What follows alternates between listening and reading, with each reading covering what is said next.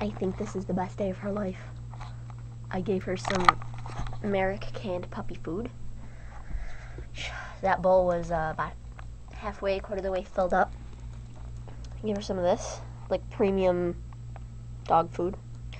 Dude, okay, this stuff smells and looks better than what I eat. And I mixed in some of her dry food. This is not fair. This looks like delicious soup. Okay, it's got chunks of meat, and I like I squished one, and it's actually like meat, not just like processed stuff. And it's got peas and carrots and sweet potato and all sorts of yummy stuff. I'd say that is puppy heaven. I need some more. See, whatever she always stops whenever she's doing once I get the camera out. I don't know what it is.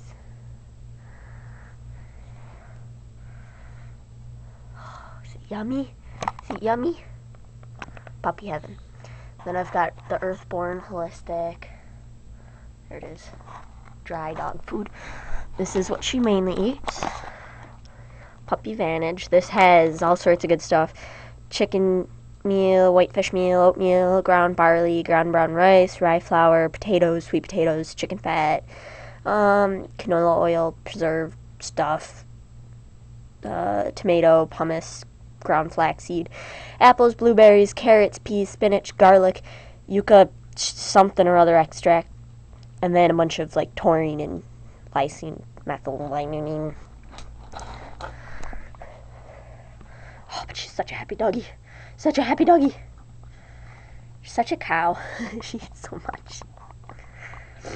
Yeah, she's gonna be a fat chihuahua. Yep. I mean, I don't want her to be a fat chihuahua, but I just know, you know, I spoil her.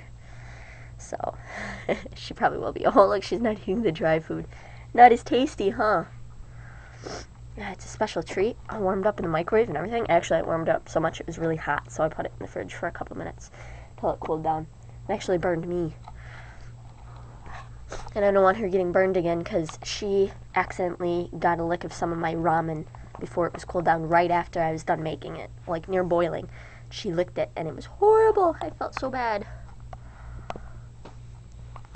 so bad. She like sprayed it all over me. She whipped her head. Then it got all over my chest and then that burned, but I was more concerned about her tongue.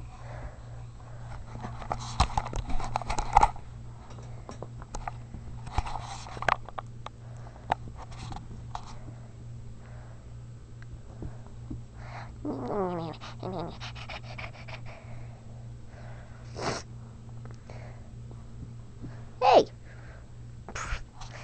Alright. Say bye bye! Say bye bye!